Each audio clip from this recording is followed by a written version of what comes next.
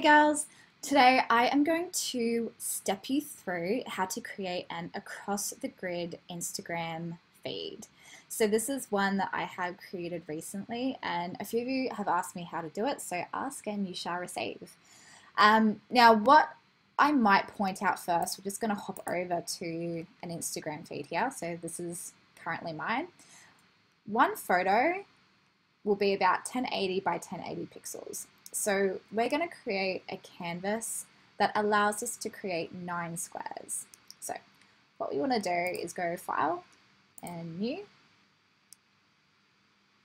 And our dimensions will be 3240 by 3240 pixels. And just go Create. All right. So we've got a blank canvas. Now what we want to do is slice this up into nine squares. So we want to go View and just ensure you have your extras and your rules on as well. And then go New Guide Layouts. We've got three columns, we've got three rows, and just make sure that margin is not ticked. If you tick that, it will create a border, and we do not want that. So leave that unticked and go OK. From here, go crazy. um, let your creativity be your limitation. So you can see here, I've got so many layers, I've got so many elements um, on my feed and yes, this takes me probably double the time it usually takes me, if not more, to create my Instagram feed, but I love it and I actually enjoy the process now. Um, so what we want to do is export these images as individual squares. So we want nine images out of this canvas. So what we want to do, you want to go to your slicing tool over here, click that, and that will slice up your grid into nine different squares. And just make sure you've got slices from guides up here. Now, to export, go File, Export, Save for Web, and our preset will be PNG24. That's fine to export. Go Save, call it whatever you want. Um, I'm just going to save this to my desktop. Now this will create a brand new folder where your images will be stored. So I'll just show you what it looks like. So I'm just going to go save. Okay. Now I'm just going to close this down for a second. So this is where my images are saved. And you can see that I have individual elements as, um, as different images here, but I take the ones that I want to upload to my Instagram, I email them to myself and put them in my feed planner. But everything is right there for you. All right, so there's one more thing that we need to do with our feed. Now you probably want to keep this going once you start. And there is a way to do it, you know, use the same file so you don't have to create a new one every single time and have things look a little bit disjointed.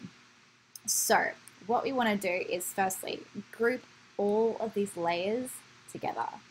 So select the very top layer, scroll all the way down, hold shift, that highlights all of them, right click, go group from layers.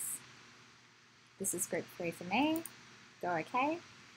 Now, a little trick I'm just going to create a new layout on top of this one. I'm just going to select my select tool, select the entire canvas, right click, go stroke. We're going to do 10 pixels. I'm just going to use a color white. You'll see what I'm doing in a second. Go OK. All right. Now,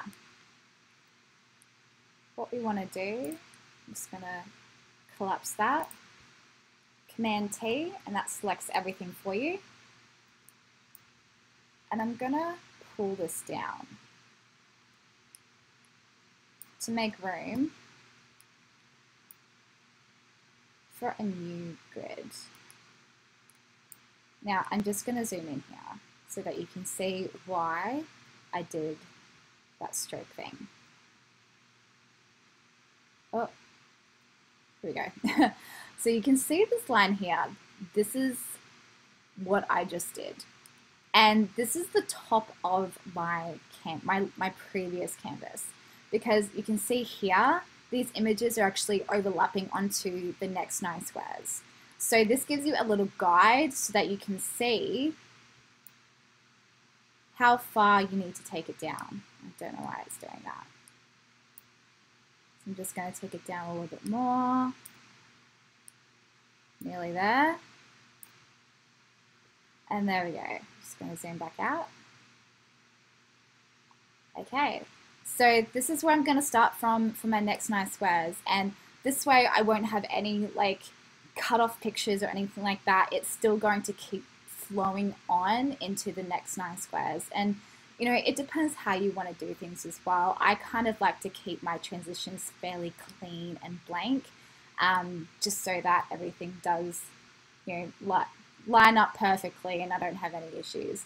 But that's a little trick you can do.